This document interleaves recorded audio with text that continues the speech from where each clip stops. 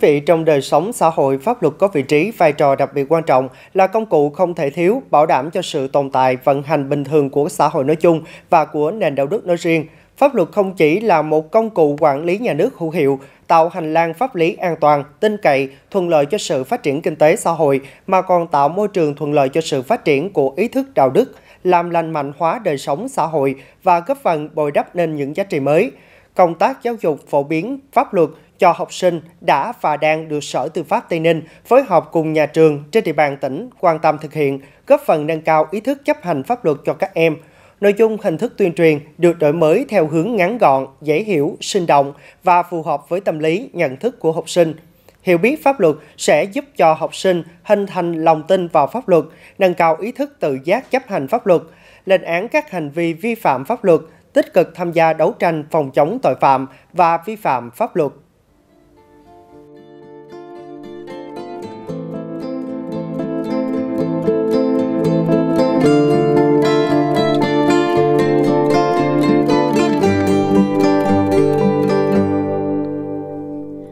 Luật phổ biến giáo dục pháp luật năm 2012 đã quy định phổ biến giáo dục pháp luật là trách nhiệm của toàn bộ hệ thống chính trị, trong đó nhà nước giữ vai trò nòng cốt, công dân có quyền được thông tin về pháp luật và có trách nhiệm chủ động tìm hiểu, học tập pháp luật. Ngày 20 tháng 11 năm 2009, Thủ tướng Chính phủ ban hành quyết định số 1928 về đề án nâng cao chất lượng công tác phổ biến giáo dục pháp luật trong nhà trường. Ngày 16 tháng 11 năm 2010,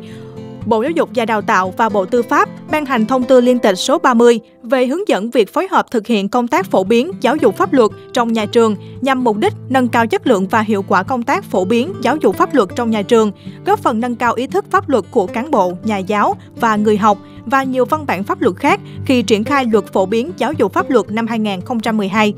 thực hiện luật phổ biến giáo dục pháp luật, chức năng, nhiệm vụ được giao. Trong những năm qua, Phòng xây dựng và phổ biến pháp luật đã tham mưu Ban giám đốc Sở Tư pháp tăng cường công tác tuyên truyền, phổ biến, giáo dục pháp luật cho học sinh sinh viên bằng nhiều hình thức, góp phần đưa pháp luật vào đời sống, giúp học sinh sinh viên hiểu biết và nâng cao ý thức chấp hành pháp luật.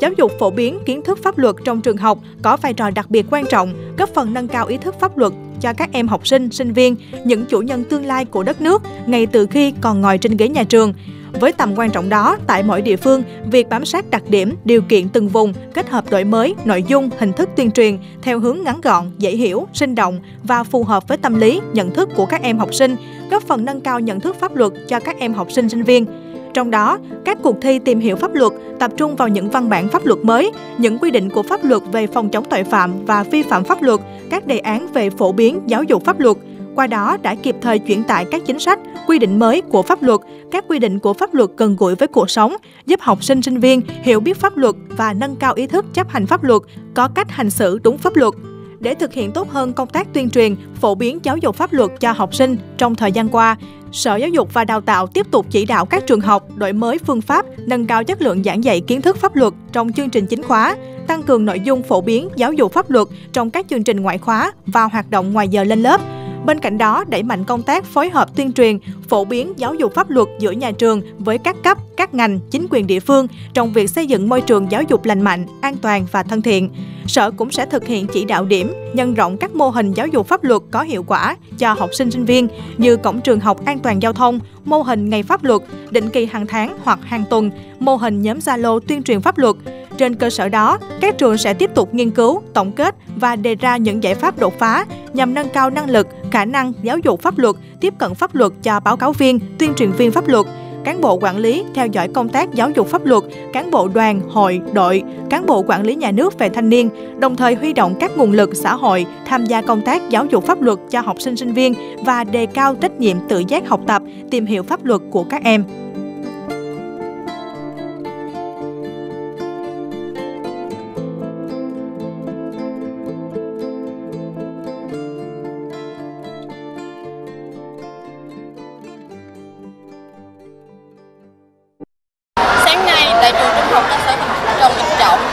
hội nghị phổ biến giáo dục, pháp luật, thi tìm hiểu về pháp luật và trao học bổng cho học sinh nghèo vượt khó.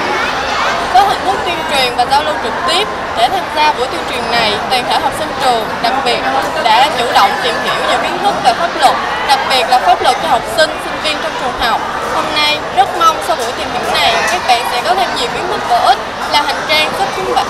các bạn có thể tự bảo vệ mình trong đại diện cho học sinh trường Trung học cơ sở Trần Bình Trọng có đôi lời phát biểu, cảm nhận sau khi kết thúc buổi sinh hoạt về buổi tuyên truyền ngày hôm nay với những thông tin chia sẻ phổ biến pháp luật tuyên truyền cho học sinh trường trung học cơ sở Trần Bình Trọng đã có thêm nhiều kiến thức hữu ích luật về luật thanh niên, luật trẻ em, luật phòng chống bạo lực học đường và các quy định của pháp luật về bảo đảm trật tự an toàn giao thông. Chúng em xin chân thành cảm ơn chương trình đã trang bị cho chúng em những kiến thức về pháp luật, có thêm niềm tin vững bước vào đời. Một lần nữa chúng em xin chân thành cảm ơn.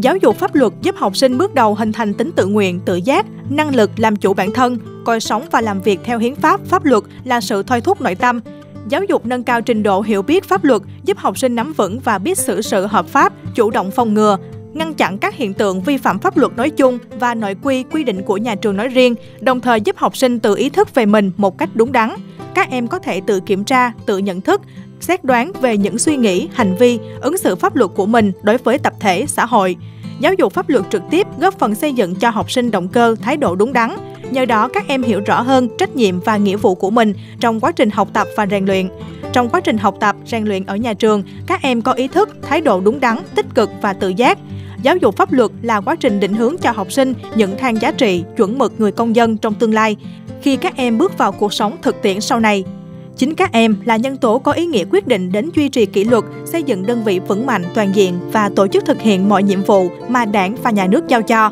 Năng lực tổ chức, quản lý, duy trì kỷ luật, thực thi pháp luật của người cán bộ, công chức phụ thuộc một phần rất lớn trong công tác giáo dục pháp luật khi còn ở nhà trường. Thông qua giáo dục pháp luật giúp cho học sinh hình thành phẩm chất và kỹ năng hành pháp và tư pháp, phương pháp khoa học trong phân tích, xem xét, đánh giá và giải quyết những mâu thuẫn nảy sinh về kỷ luật trong lãnh đạo quản lý. Nhờ được giáo dục pháp luật nên khi ra trường trong các quan hệ giao tiếp, các em luôn giữ được phong thái, tác phong chững chạc, làm việc có nền nếp, kế hoạch, có nguyên tắc nhưng lại rất linh hoạt, ứng biến trong các hoàn cảnh khó khăn để hoàn thành nhiệm vụ. Trường Trung học cơ sở Trần Bình Trọng, thị xã Hòa Thành là một trong những đơn vị tích cực triển khai công tác tuyên truyền, phổ biến giáo dục pháp luật trong thời gian qua. Ngay từ đầu năm học, Ban giám hiệu nhà trường đã xây dựng kế hoạch tuyên truyền, phổ biến giáo dục pháp luật cho học sinh, phối hợp các tổ chức đoàn thể trong và ngoài nhà trường, thường xuyên tổ chức các buổi tuyên truyền pháp luật với nhiều hình thức như sinh hoạt dưới cờ, hoạt động trải nghiệm, lồng ghép trong các tiết học, bộ môn giáo dục kiến thức pháp luật, tổ chức cuộc thi, hội thi trực tuyến,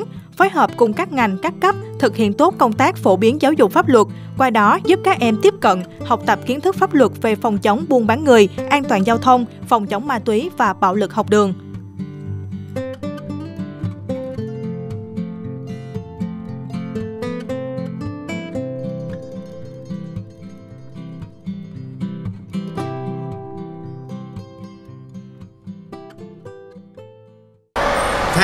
Trường tôi xin gửi lời cảm ơn sâu sắc đến sở tư pháp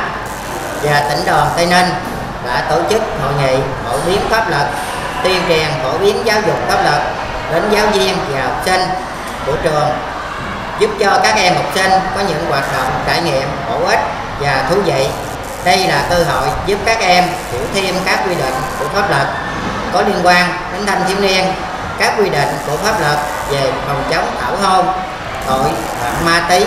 các quy định về đảm bảo an toàn giao thông. Chúng tôi hy vọng rằng hội nghị có thể được tổ chức thường xuyên hơn nhằm tạo diễn đàn cho học sinh, được tìm hiểu, trao đổi, được giải đáp thắc mắc các quy định của pháp luật có liên quan đến chính bản thân các em, góp phần giúp các em tự tin bước vào đời.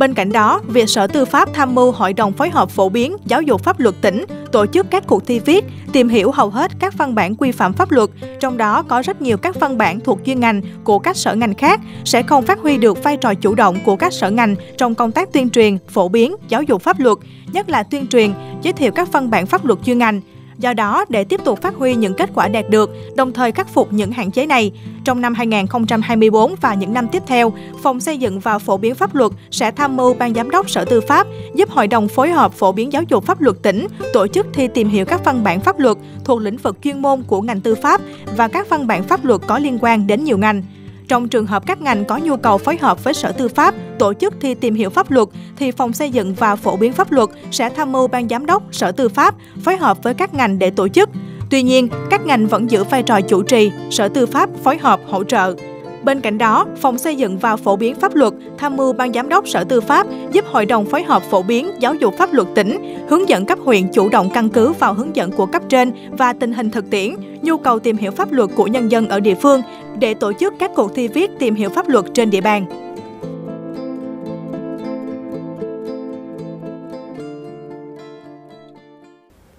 Thưa quý vị và các bạn, chuyên mục truyền thông chính sách kỳ này đến đây là hết. Cảm ơn quý vị đã quan tâm theo dõi. Xin kính chào tạm biệt và hẹn gặp lại.